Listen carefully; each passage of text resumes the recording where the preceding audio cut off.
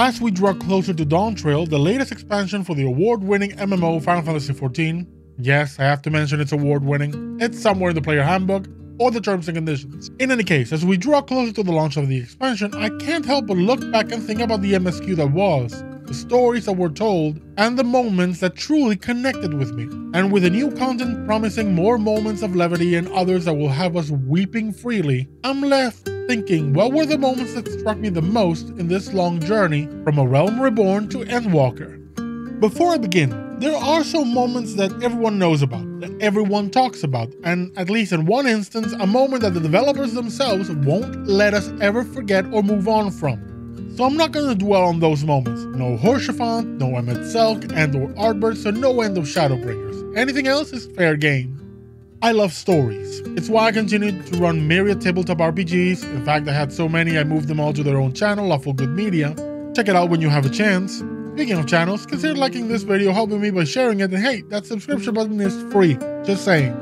But it's not just story and plot that attract me, but characters and specifically character moments, those that deeply affect their individual stories or their development. But with all that said, it's time to begin. Do mind that this is not an ordered list, just a collection of moments that resonated with me and made the experience of Final Fantasy XIV an unforgettable one.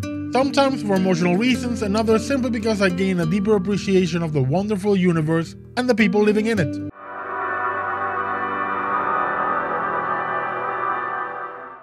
This one happens more or less midway through Shadowbringers, and it's the sequence through which the reincarnation of Minfilia communes with the spirit of the original, the antecedent of the Scions of the Seventh Dawn, known as the Oracle of Light for the people of the First. This section also includes a phenomenal duty controlling Thancred as he fights and holds off Ranjit, so the Warrior of Light can escort Minfilia to her destination. What I love about this sequence is how profoundly it impacts all those involved. We get a final farewell to Minfilia, who we'd not seen since the end of Heavensward two expansions prior, and even that was a short meeting after she vanished at the end of A Realm Reborn. For Rin, it's stepping out of a shadow that's been present throughout her life, and it's her making a choice to be her own person, not just Minfilia number 257, but someone new to break this cycle of rebirth the Oracle had so far been subjected to, allowing Minfilia to rest. But out of all the different characters involved in this, it's really Thancred's experience that is so touching for me. At the same time, he has to come to terms with the loss of the Minfilia he knew and loved. And what that love was, romantic or not, is up for debate. But love her he did. He has to accept that he has to let go. And at the same time acknowledge that he now has a kid that needs him and he's not doing either of them any favors by being distant to her. Like it or not, he's her dad and he needs to step up, so he begins to open up and even suggest her new name, Rin. It also helps that for a good 30 seconds, I was damn certain that Thancred was getting penciled in for a meeting with the Grim Reaper.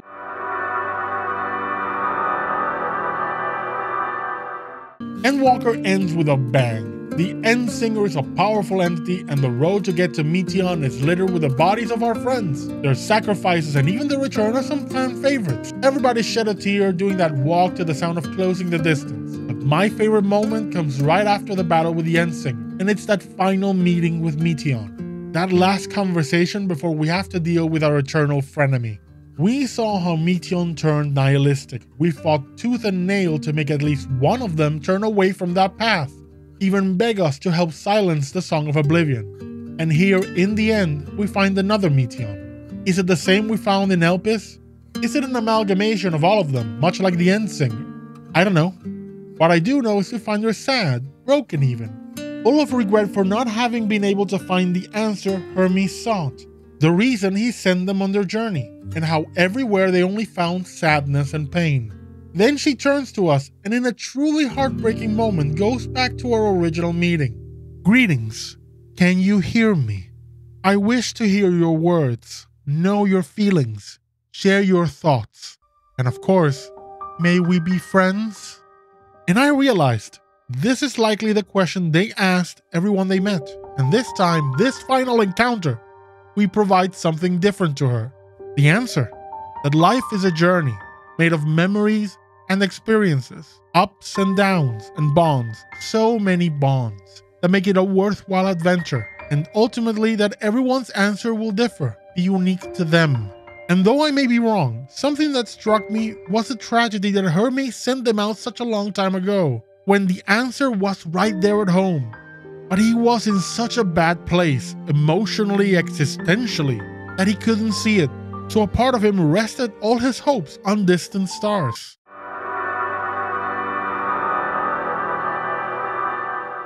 Not many 14 players love A Realm Reborn. In fact, the common thing people tell newcomers is the game gets good in Heavensward after A Realm Reborn. And yet, I enjoyed ARR so much. Is it perfect? Hell no. Gotta use some revisioning, of course.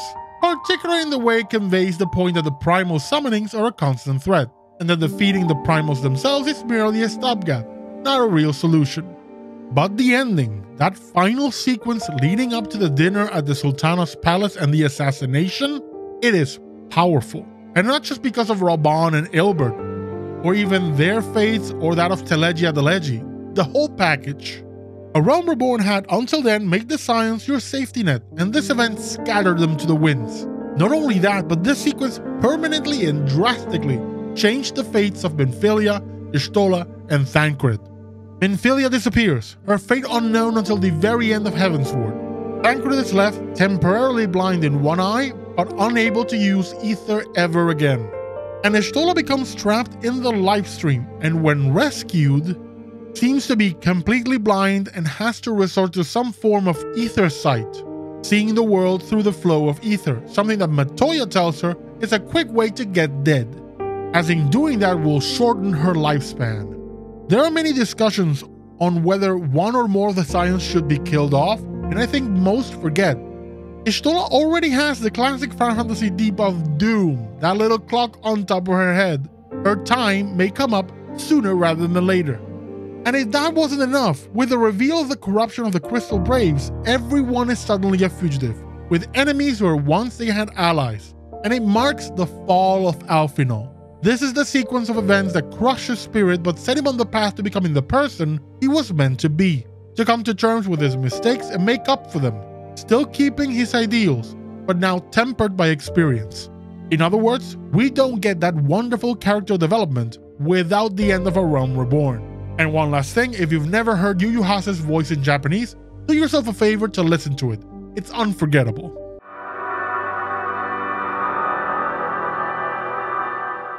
This scene comes between Shadowbringers and Endwalker, and it's that scene where we first meet Fourchenault Leveilleur, Alphinaud and Alisaie's father, and one of the members of the Forum, the ruling body of Sharlayan.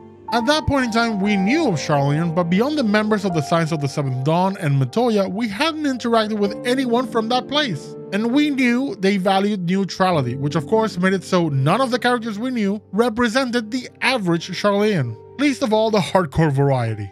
Enter Papa Fourchenault, statuesque, rigid, impassive, a detached scholar, his voice steady at all times. He comes to give the Sharlayan people's answer to the request of help against the Telophoroi, the Endbringers. And yes, that's the translation of that Greek term. We know the other members of the family. We know Alphinaud, Alisaie, and Louisoix, so we're kind of expecting this guy to say, sure, we'll help, point us in the direction you want us to start kicking in. And the reality is the complete opposite and we get to see firsthand how far the Sharlayan people and their leaders will go to preserve their neutrality. Completely disregard the warning of some dangerous people coming to end the world. Where still, the moment his children challenge this position, quoting their grandfather on how ignoring the fate of those you could save is not wisdom but indolence, Fourchenault disowns them, cutting all ties with them. You're no longer my children, go away. Of course, during Endwalker, we'll learn more about Fourchenault and his motivations, but this scene is such a good bit of foreshadowing for most, if not all, of the Sharlayan arc of Endwalker. This is a small scale representation, or the kind of thing the Scions and the Warrior of Light will face when trying to secure the aid of the Forum and the people of Sharlayan. Stone faced rebuttals. This entire scene is a preview, and it's genius.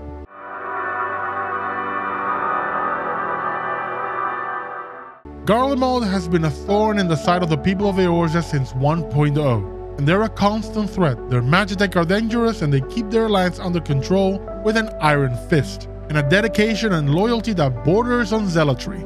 But when we reach Garlemald, we find the husk of a once proud nation, and despite the best intentions, the people of this land cannot accept their former enemies are now lending them a hand. Garlemald's arc is full of tragic moments, all of them because of this wall that exists between Garleans and everyone else.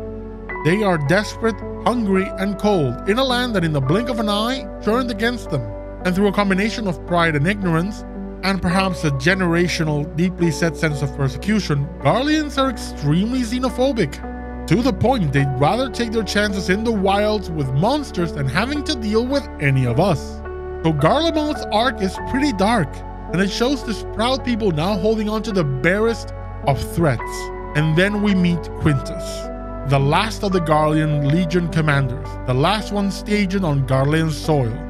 He is yet another one who refuses to accept that former enemies are now here to offer aid, that the Telophoroi are a common enemy, and so he treats this as an invasion by foreign powers, even going so far as to send troops to attack the base camp of this welfare effort. And in doing so, we arrive at the darkest and perhaps most heartbreaking moment when the Eorzean Alliance passes on a message from the leaders of another legion, who we discover had sought out the Eorzeans for help, having had their forces decimated as they attempted to retake Garlemald. The message is simple have the ill stand down. Simply put, stop fighting, accept the help. There is no more hope of reclaiming past glory and pride. Garlemald as we know it is done. And Quintus honors this command and orders his men to stand down. And while everyone thinks this will open the path to peace and getting the Garleans the help they need, with Quintus there to help, Quintus very much dismisses everyone, dissolving military ranks, letting everyone do as they please, and then ending his own life, incapable of living in this new reality. And it's truly tragic because Garlemald needed this man. They could have used his strength, his discipline, and his commitment to keep the nation alive. The only problem is, by the time he pulled the trigger, his spirit was broken beyond recovery.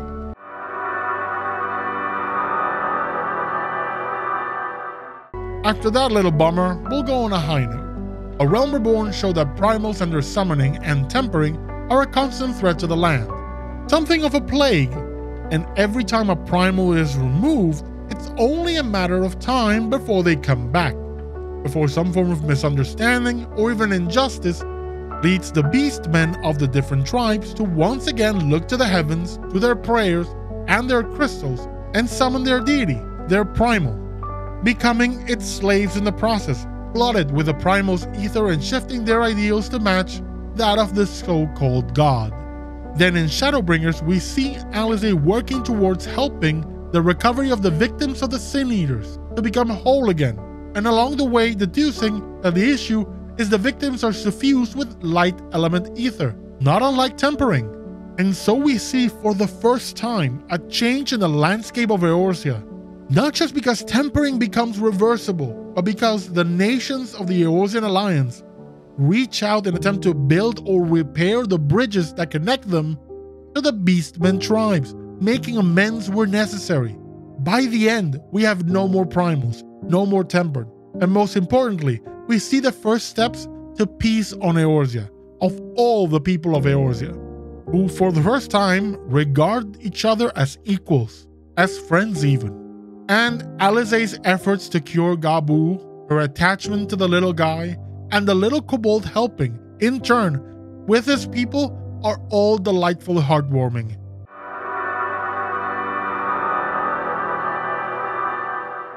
Oh, Zenos, our dear misguided sociopathic friend. You only wanted a good fight, and fortunately for you, you got it.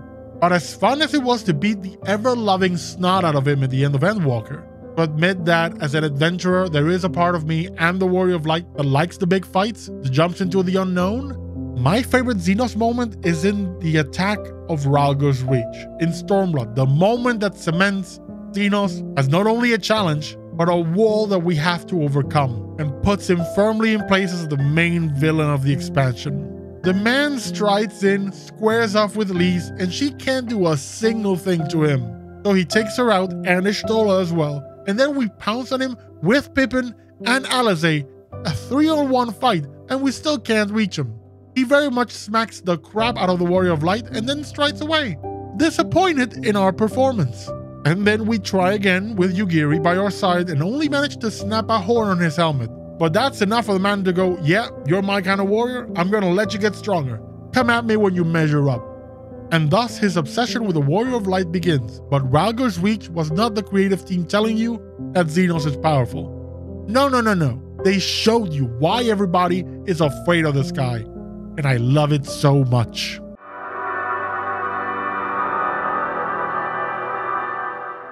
Another Stormblood moment, and this one is short, but I love it because it speaks to the character, the indomitable will that the Warrior of Light possesses, which is by far the character's greatest strength beyond any blessing by any deity or dragon or anyone.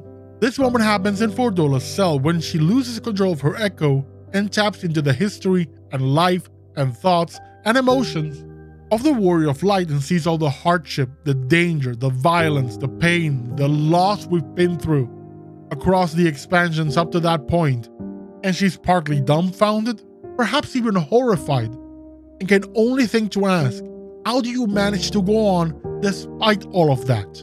From her point of view, our experiences are too much for anyone to handle.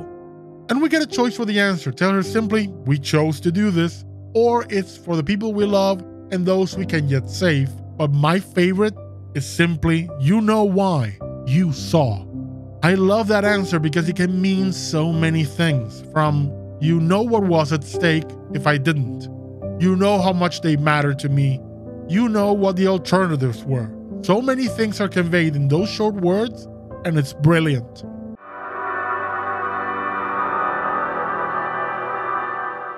This is a very short one, but it's the first time I felt like a badass with my Warrior of Light. And it's right before the steps of faith to fight Nidhogg where the Warrior of Light confidently strides towards the dragon, while everyone is running away. It's such a great moment. So, so good. It's basically the creative team hyping you up before you go fight the big bad dragon.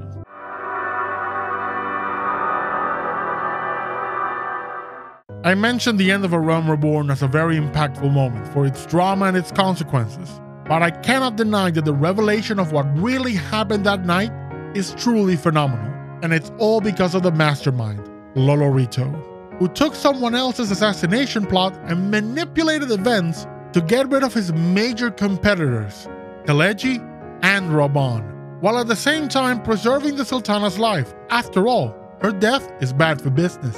Not only that, but everyone involved finally realizes there wasn't a betrayal by the Crystal Braves. No, they were in Lolorito's pocket from the beginning.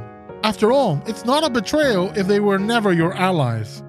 And the person who informs everybody of these truths is Lolorito himself, with a smug look on his face and dropping that wonderful line that if the game's starting, you gotta make sure to have a piece on the board, while being part indifferent, part amused by everyone else's outrage at his actions. Lolorito is always in control of the situation, and you gotta love how delightfully devious he can be. Of course, there are many more moments I could delve into. There's Froth and Foam, the tragic fall of Yotsuyu, Little Sun, Burgers with the Scions, and many more. But as much as I've laughed or felt with those moments, they don't match the impact these 10 have had on me. Now I'm looking forward to the moments that Dawn Trail will add to the list. But that's enough out of me for this video. See you on the next one.